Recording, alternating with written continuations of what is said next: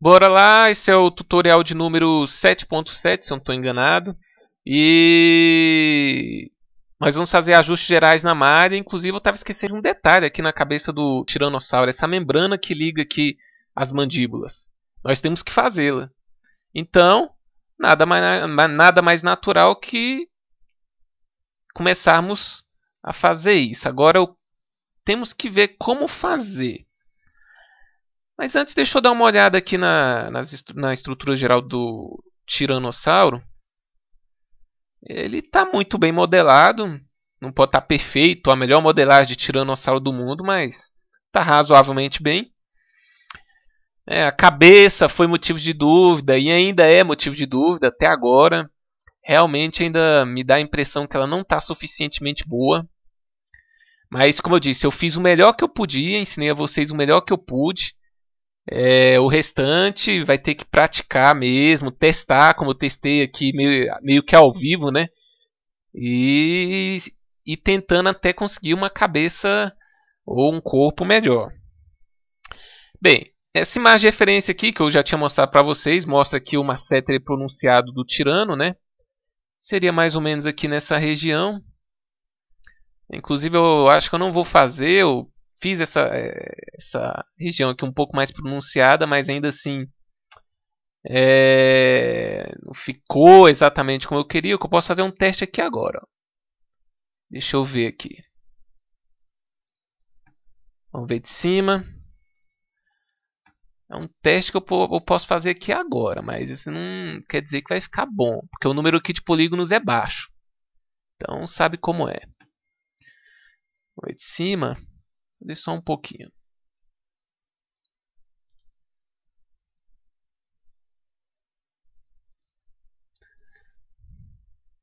Bem, ficou um pouco mais pronunciado. Mas não ficou redondo porque o número de polígonos aqui é pequeno, então não dá para arredondar. Teria que fazer mais cortes aqui na malha e eu não quero. Pois bem, é nós vamos ter que ajustar algumas coisas. Eu, eu, vou fazer a membrana da cabeça do tiranossauro, dessa aqui, mas antes eu vou fazer algumas coisas mais simples. Primeiro é a pata dele. Se olharmos a imagem de referência, a pata dele, o pé parece é, parecido com o pé de galinda, tem o dedo aqui é, lateral, né? E ele tem uma, uma panturrilha um pouco desenvolvida. O nosso está meio fraco de panturrilha. Quando você olha de frente, ó, tem nada. Então vamos fazer o seguinte. Vamos selecionar esses vértices aqui relativos à panturrilha. Vamos para a visão de frente. X. Escalonar no eixo X. Ok. Nós fizemos com esses aqui. Agora nós vamos selecionar esses aqui. É... Deixa eu ver aqui. Estou em dúvida se seleciona esses aqui também. Ó. Mas eu acho que acredito que sim. Escalonar no eixo X. Olha como está mais desenvolvida a panturrilha.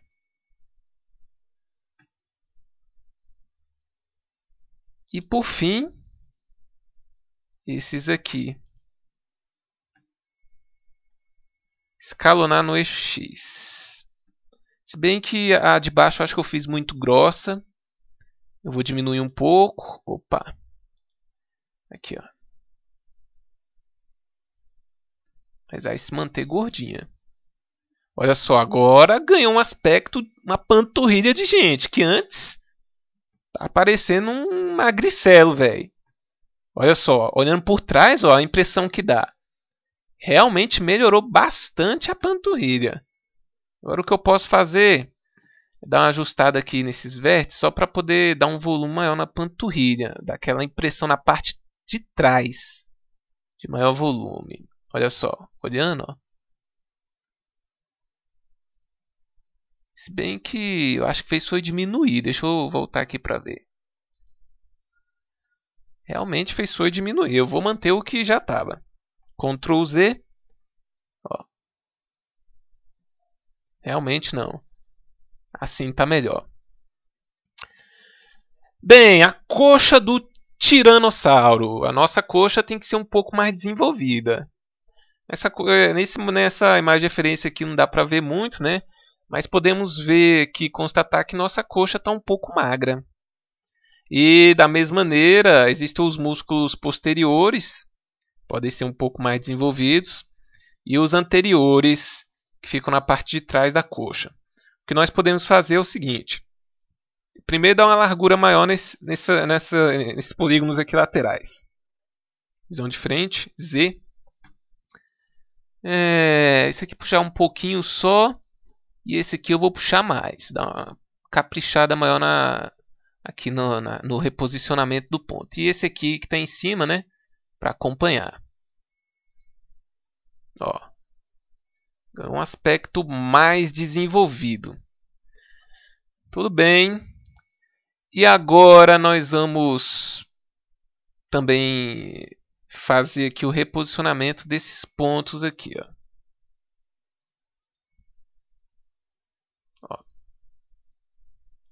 Esse aqui, deixa eu ver. Esse aqui eu posso jogar ele um pouco mais para frente.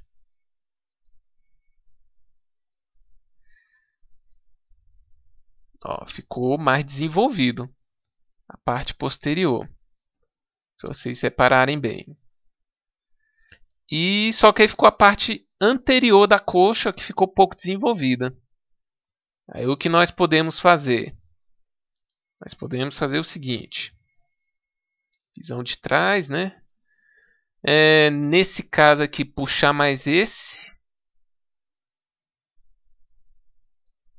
E esse aqui também podemos puxar um pouco. Aí nós temos um tiranossauro com a coxa mais grossa.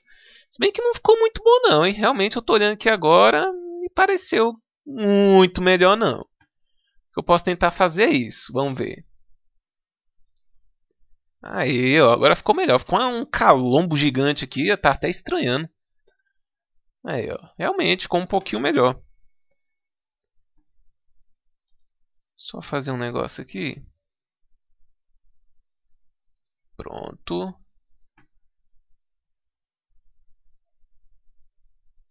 Que eu acho que agora com um pouco melhor. Só diminuir um pouco isso aqui. Pronto, também não vamos exagerar e deixar ele muito coxudo.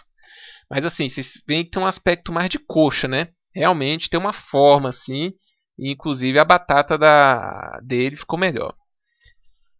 Bem, é... vou por enquanto deixar essas imagens de referência ainda de frente. E agora nós temos que ajustar o pé aqui, que o pé ainda não está ideal. É, o que nós podemos fazer em relação ao pé? Essa parte aqui vai ser complicada. Nós podemos perceber o seguinte, deixa eu só selecionar toda a imagem e deixar invisível. Que tem o pé aqui, né, e tem esse dedo meio e tem esse dedo lateral. É, cuja unha está posicionada aqui. O nosso não, a unha está posicionada aqui, muito na frente significa que o tiranossauro tem pés de lebre. O que, que é isso? No, no mundo da sinofilia, das, ra das raças de cães, pés de lebre são aqueles cães que têm assim as patas e os dedos muito próximos um do outro, tipo assim, ó. Só demonstração. Assim, ó. É, girando e assim, ó. Quando eles apoiam, os dedos ficam muito próximos um do outro. E pés de lebre é justamente o contrário.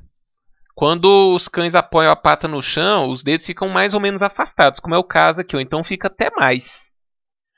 Então nós vamos fazer o seguinte, nós vamos ajustar esse, esse dedo aqui pro pro jeito que deveria estar que é um pouco mais afastado, parecendo um pé de galinha. Então deixa eu só desselecionar alguns pontos aqui, porque eu não quero mover todos. Eu acho que já está suficiente. Ok. É, vamos botar uma visão de cima. Deixa eu ver se vai atrapalhar. É, vai. Vamos fazer o seguinte. Como sempre, né? O restante a gente esconde. H e deixa só o que interessa. Então vamos ver aqui. Botar a visão de Z.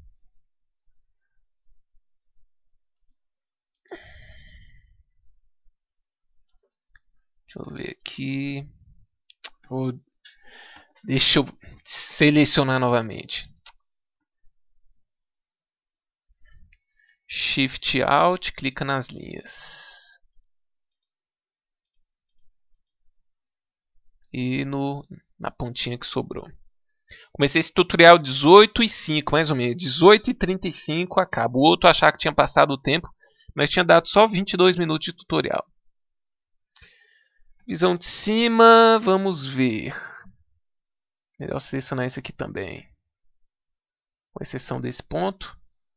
Desse também, né? Passou da conta.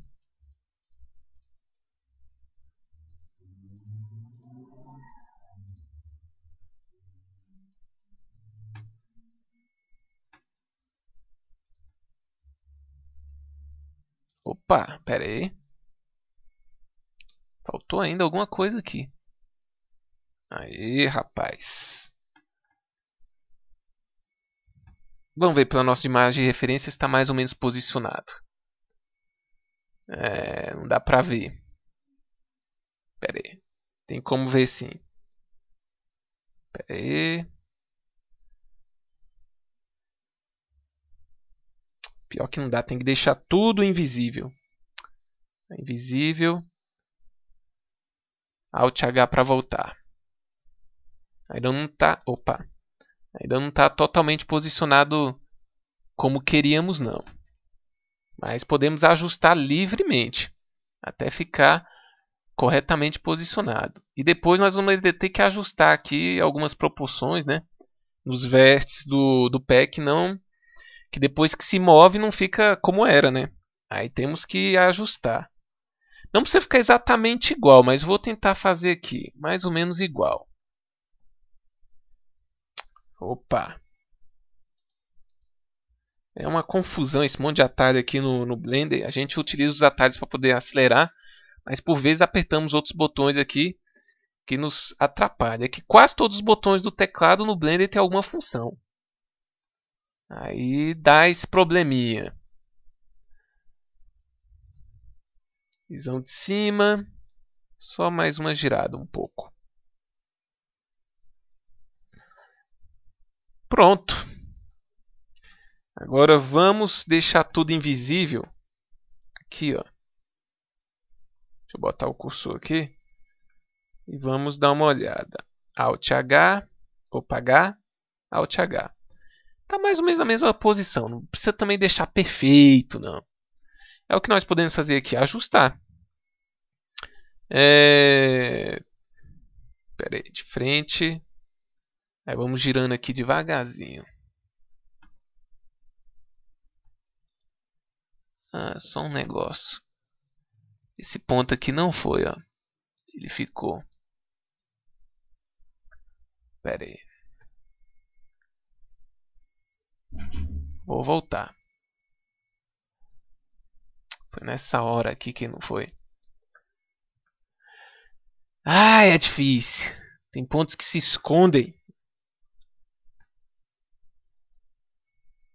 Tá. É, visão de cima. Pronto. Deixa eu ver.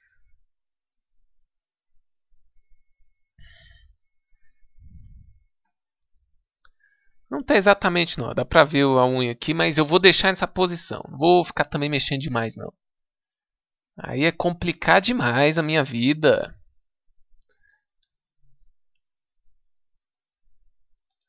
Uh, antes, deixa eu mexer nesse ponto aqui. Aí agora sim eu mexo nesse.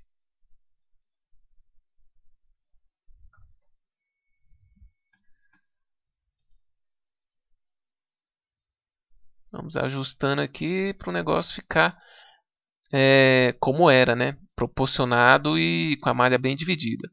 Como giramos aqui, mudamos um pouco. Aí vai ter que fazer alguns pequenos ajustes.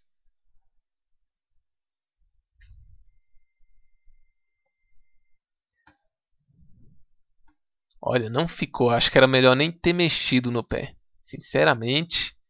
Mas já que começamos, bora lá.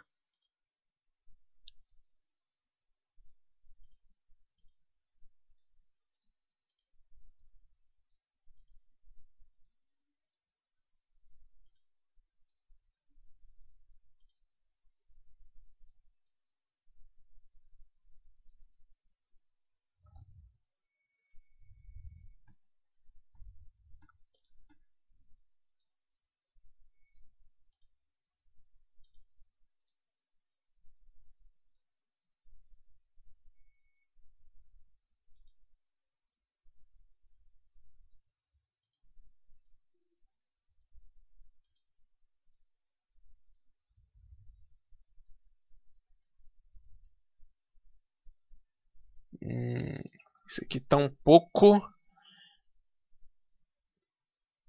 calombado, vamos dizer assim. Agora diminuir um pouco a proporção.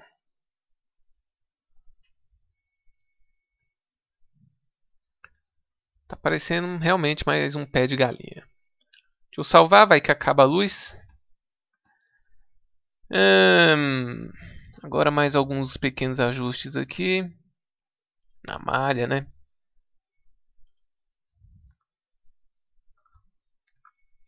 Opa, deixa girando devagarzinho pra ir olhando. É, mas agora ficou melhor.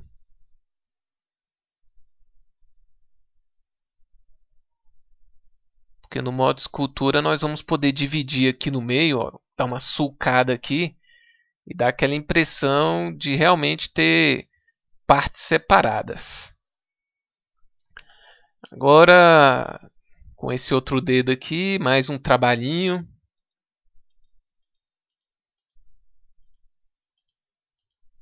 Opa.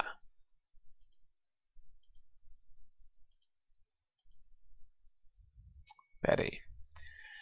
Ai, difícil, difícil, difícil. Vamos pegar aqui essa parte. Deve ter pontos embaixo, não? Selecionados, isso. É, mais esses pontos aqui. Ok, vamos dar a girada.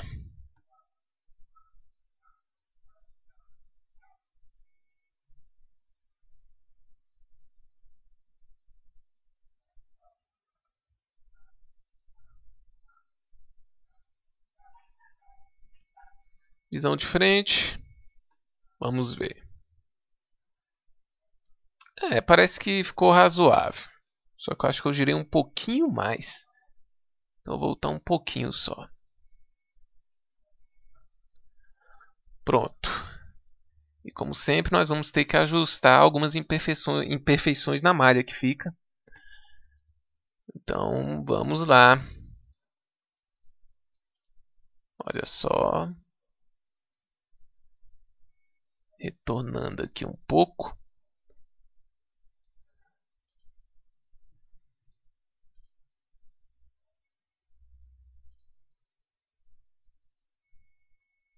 Ok. Hum, visão de trás. Vamos girando devagarzinho.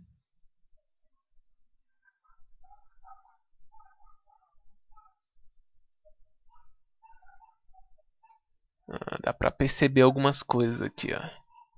Esse ponto aqui, ele tá muito... Deixa eu ver direito. É, ó. Ah, e deixa eu deixar invisível, deixa invisível tudo isso aqui. H. Pronto. Opa, então, inclusive foi demais. Z H. Pronto. Aí fica bem melhor. Fica quebrando cabeça ali, sendo que pode fazer bem, de maneira bem mais fácil. Inclusive vamos ajustar aqui, ó.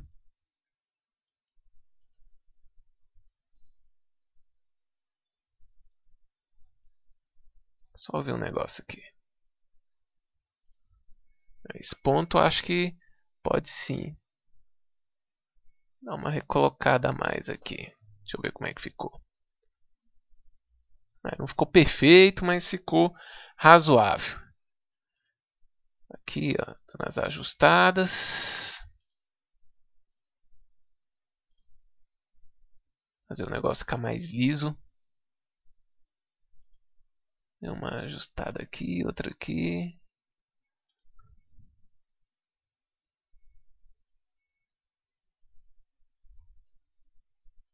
Vamos ver.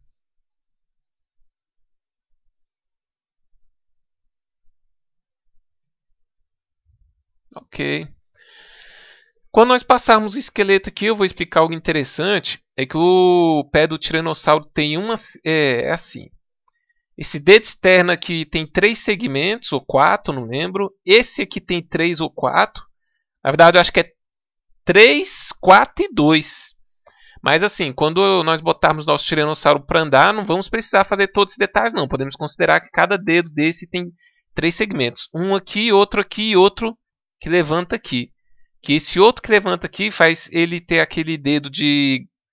Aquele, aquela posição a posição do pé da galinha.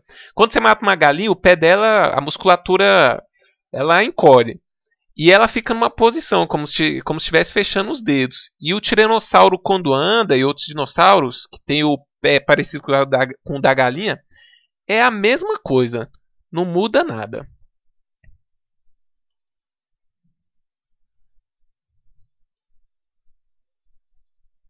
É, acho que está tá razoavelmente bom.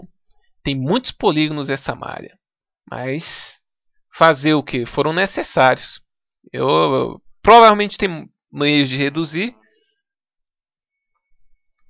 Tu pode reduzir essa malha, mas aí é, é, o que eu consegui foi isso, eu não vou refazer. Bem, próximo tutorial a gente continua com ajustes é, gerais na malha e vamos dando essa sequência de tutoriais.